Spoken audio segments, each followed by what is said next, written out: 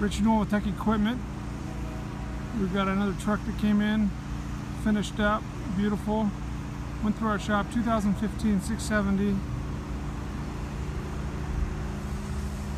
It's got a D13 I-shift, 500 horsepower.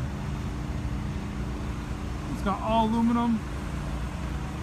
It's got the nice graphic on the side and brand new virgin uh, rubber on the back.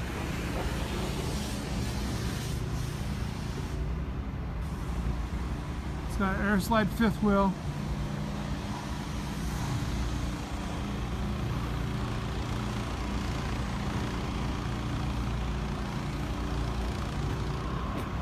Jump inside the cab so you can see that.